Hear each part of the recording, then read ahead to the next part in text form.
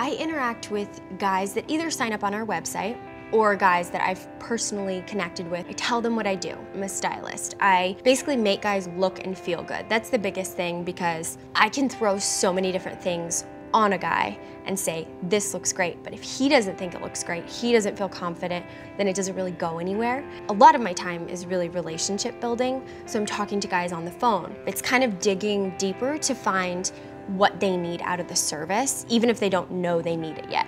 A lot of guys don't feel comfortable at first talking to you about what kind of pants you wear, what do you need. You build the trust by gauging what they need the most and letting them tell you. And they can really understand the service and what I'm trying to do. We're trying to get guys to care more about fit because it changes everything. If a guy's wearing clothes that fit well, they look so much more confident, strong, and you know, people take them more seriously. So for me, when they have that moment when they're trying on like pants and maybe I put on a sport coat and they're like, I've never worn something that fits like this, but then once they see it and they kind of, it clicks, that's, I think that's my favorite moment.